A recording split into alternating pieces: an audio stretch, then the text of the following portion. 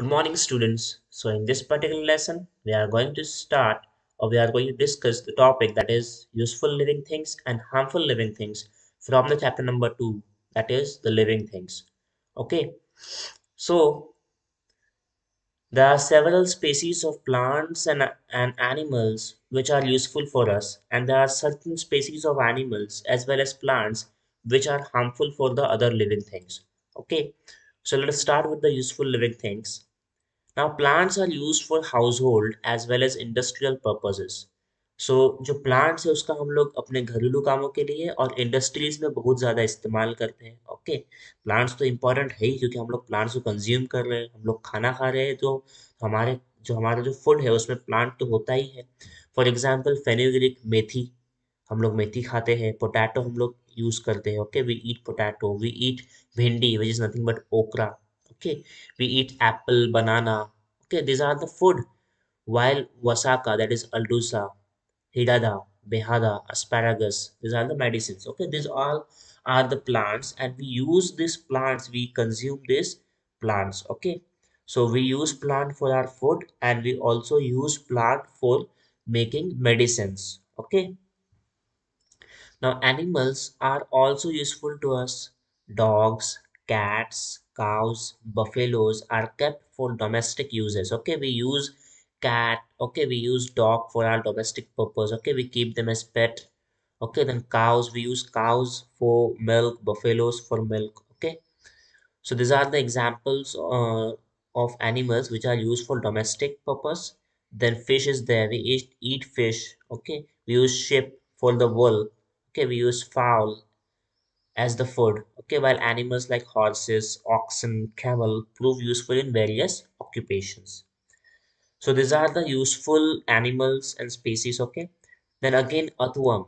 It is also useful. Okay, it helps to fertilize the farmland. Okay, the agricultural land. जो खेती की ज़मीन होती है उसको फर्टिलाइज करने का काम करता है कौन करता है अर्थवर्म करता है इसलिए अर्थवर्म को फार्मर्स फ्रेंड भी कहा जाता है क्या कहा जाता है farmers friend okay now harmful living things so there are several harmful living things also okay some animals and plants around us are harmful to man for example mosquitoes obviously mosquito क्या है हमारे लिए harmful है उससे हमें होता है dengue होता है okay okay?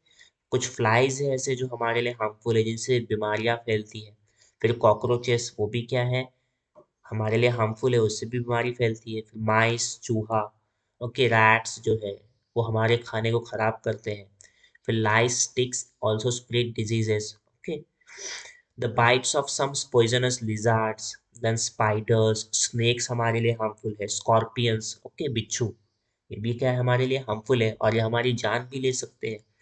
If wild elephants enter human settlements they cause lot of destruction फिर जो वाइल्ड एनिमल्स होते हैं ओके लायन टाइगर वुल्फ ये जो वाइल्ड एनिमल्स है, वो भी क्या करेंगे? हमारे सेटलमेंट को बिगाड़ सकते हैं, अगर वो हमारे रहने, हम जहाँ पे रहते हैं, उस, उन इलाकों में अगर ये एनिमल्स आ जाए तो वो भी क्या है, हमारे लिए बहुत ज़्यादा हार्मफुल है। Okay now some plants too can be harmful as for example the datura parthenium and the other weeds okay कुछ वीड्स प्लांट होते हैं, और फिर कुछ डॉटर टाइप प्लांट्स होते हैं, वो क्या है, हमारे लिए हार्मफुल है। फॉर एग्ज़ाम्पल दतूरा देख लो आप, कि ये हमारे लिए हार्मफुल है पॉइजनस होता है।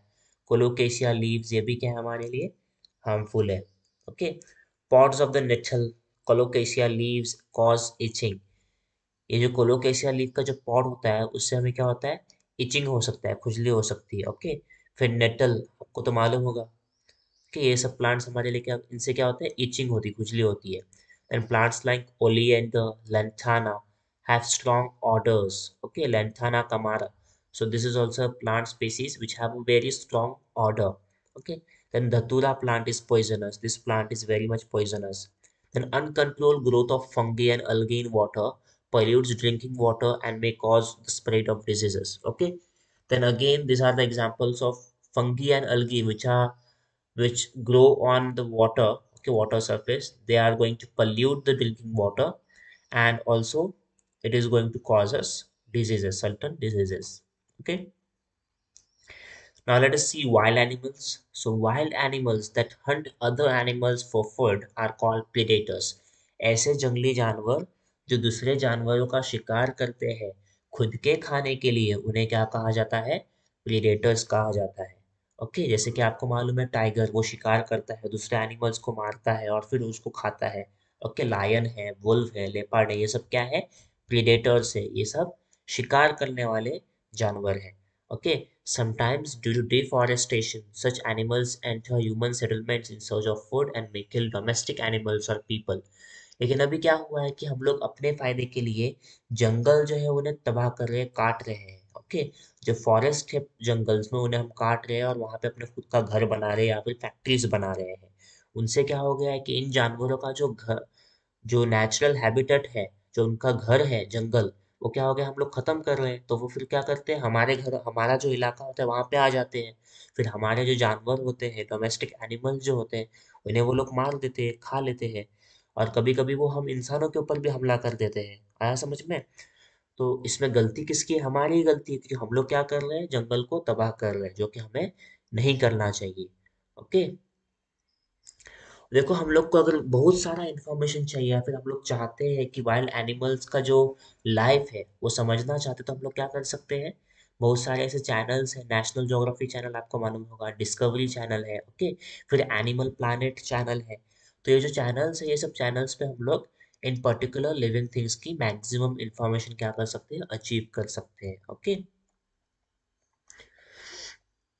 हमेशा हमें याद रखना है कि देखो many plants and animals in nature satisfy our needs they you the use of such plants and animals should be restricted only to our needs we should not pluck leaves flowers and fruit unnecessarily animals should not be hunted they should not be tease just for fun it is responsibility and duty of all us to protect plants and animals देखो, कि जितने भी ये natural resources फिर जो plants और animals जो हम लोग, हमारे फ़ायदे के लिए हम लोग इस्तेमाल करते हैं उन एनिमल्स को हमें एक्सप्लॉयट नहीं करना है। जितना हमारे, हमें ज़रूरत है, उतना ही हमें प्लांट्स का यूज़ करना है। जितना हमें ज़रूरत है, उतना ही हमें एनिमल्स का भी यूज़ करना है। ओके और जो प्लांट्स में फ्लावर्स होते हैं, उन्हें बिना वजह प्लक नहीं करना है, तोड़ना नहीं है। बिना वजह फ्रूट को नहीं निकालना है एने प्लांट से। ओके हमें ये ध्यान रखना है कि प्लांट्स को भी हमारी तरफ़ से कोई नुकसान नहीं पहुँचे। और एनिमल्स का शिकार तो बिल्कुल ही नहीं करना है ओके क्योंकि वो जो एनिमल्स है, वो क्या करते हैं? एनवायरनमेंट को बैलेंस करने का काम करते हैं इकोसिस्टम को बैलेंस रखने का काम करते हैं ओके आज हम लोग जू में जाते हैं ओके तो वहाँ पे भी जू जू में जाएँगे या फिर नेशनल पार्क्स में जाएँगे तो कभी भी हमें एनिमल्स का मज़ाक नहीं उड़ाना है, उन्हें टीज नहीं करना है ओके और हम सबको ये ध्यान में रखना है कि एनिमल्स और प्लांट्स को प्रोटेक्ट करना ये हम सबका क्या है? रिस्पॉन्सिबिलिटी है, ये हम सबकी ज़िम्मेदारी है ओके ये हमारा ड्यूटी है ओके सो इसी तरह जो हमारा चैप्टर नंबर टू है लिविंग थिंग्स वो क्या हो गया है? खत्म हो गया है ओके सो इस चैप्टर का जो एक्सरसाइज है आपका ओके वो एक्सरसाइज आपको क्या करना है? लिखना है, पूरा करना है। और द लिविंग वर्ल्ड जो हमारा चैप्टर है वो कंप्लीट हो गया है। इस चैप्टर का एक्सरसाइज आप लोग पूरा करेंगे। ओके अगर आपको कोई डाउट है, कोई पर्टिकुलर क्वेश्चन आपको नहीं समझ में आ रहा है तो आप मुझसे पूछ सकते हो। ओके सो इसी के साथ हमारा चैप्टर खत्म हुआ। Good bye